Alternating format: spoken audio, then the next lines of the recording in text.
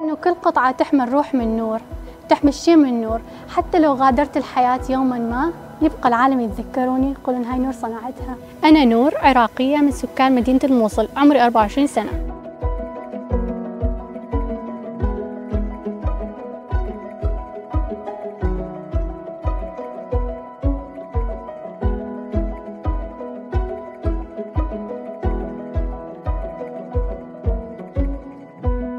والتحدي اللي واجهته كان من انتقلنا من مدينة الموصل إلى أربيل.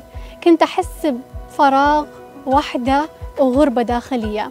الأمر اللي خلاني أتوجه للكروشيه.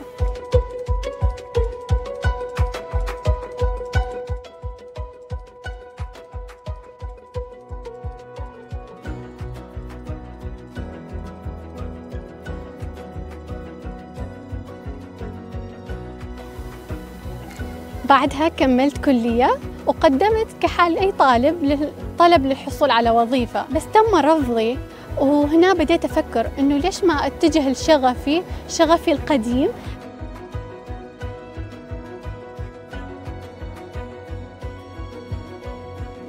بدايتي كانت تعليم ذاتي باليوتيوب قبل ست شهور. آه، كنت أجرب. أول شيء فواصل الكتب عملتها. صارت بموديلات كثيرة.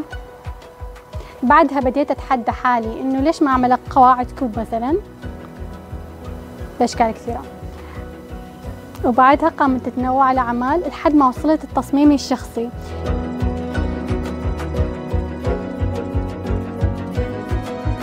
بديت مشروعي أول شيء بمبلغ عشر دولارات فقط أو حتى ممكن أقل.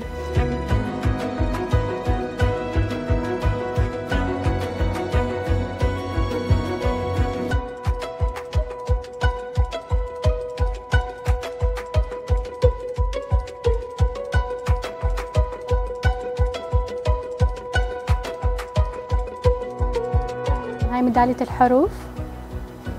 أعمال أخرى أكو تاخذ أيام. هذا الشال أخذ أسبوعين تقريبا. الكروشيه يحتاج شغف وحب وصبر كثير. هو عملية تحويل قطعة ما بها روح ولا أي حياة إلى أعمال أخرى.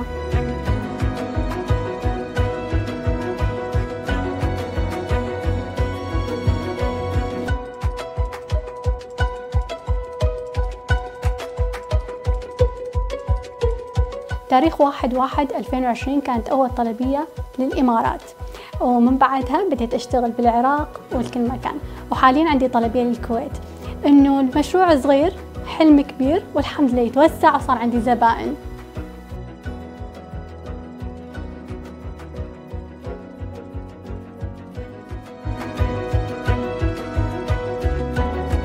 هذا القطعة الأكثر طلبا بالمتجر.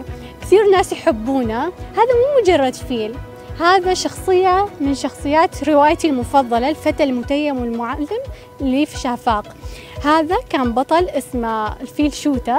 ومن خلصت الرواية قد ما تعلقت بالشخصية وحبيتها قلت مستحيل أتركه لازم أجسده أجسده بشيء يبقى حولي يبقى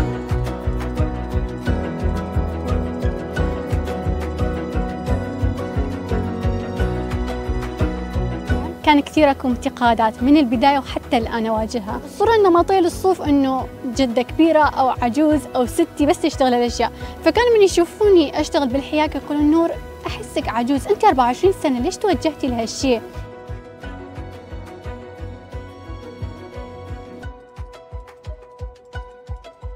كل شخص عنده موهبة مستحيل الله خلق شخص بدون أي شيء.